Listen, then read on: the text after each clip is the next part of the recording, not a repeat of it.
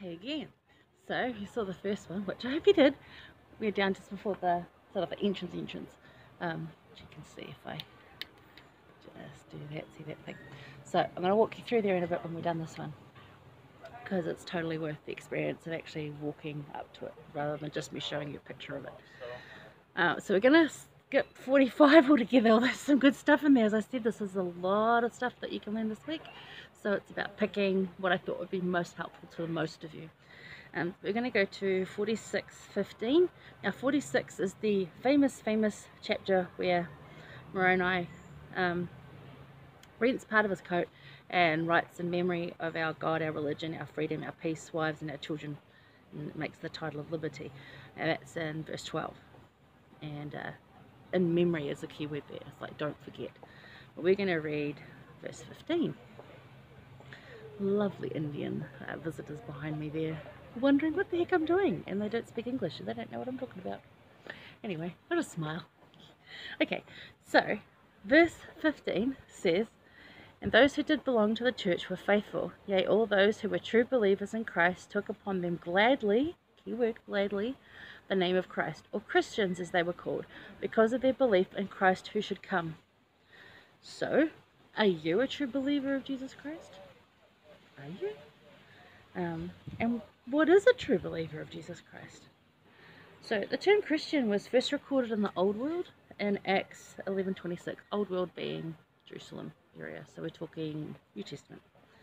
Um, but here in the New World, which is the Americas, it was used a century earlier, whole century earlier. That's kind of cool, right?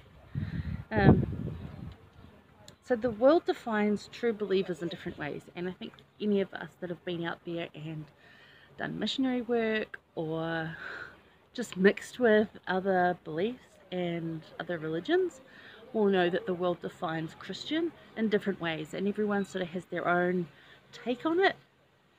Um, and you may define it differently than I do, but this is just what I define it as. I like to define it the same way as Elder Neal A. Maxwell did, and he said let the kaleidoscope of life's circumstances be shaken again and again, and the true believers of Christ will still see with the eye of faith divine design and purpose in this life. And I thought that was really awesome. So, you know, let turmoils of life come again and again and again, and true believers of Christ will still see with divine design and the purpose that this life has. Uh, I think that really just covers it, for me anyway. Uh, and, and I kind of like, if you know what a Venn diagram is, um, again, gladly is the key word. And to keep seeking, because if you don't, then keep seeking. But I'm going to try and really badly describe a Venn diagram here. So you get you know, the two circles and they intersect. I should have drawn a picture. Um, so you can have like, because not all members of the Church of Jesus Christ of Latter-day Saints are true believers. And then there's people who are not members of this church and they are true believers. So you've got like, say, other religions and Church of Jesus Christ of Latter-day Saints, and they intersect. And that bit in the middle, that's true believers of Christ. So, you know, where are you sitting in all this? And how do you define it? I'd love to know. If you want to comment, let me know. That's how I define it. Okay, so, I'm to walk you through here because it's kind of cool. So, come with me. This is really cool. So, you walk through this one very Chinese design. I think it's like the 10th to 12th Sung dynasty, the free historian type people. I don't know, we just think it's cool. So, if you can see through here. Now watch this, this is cool. Okay, to put you right in front of me where my face is. Look at this. Isn't that cool? We're getting a sneak peek through there.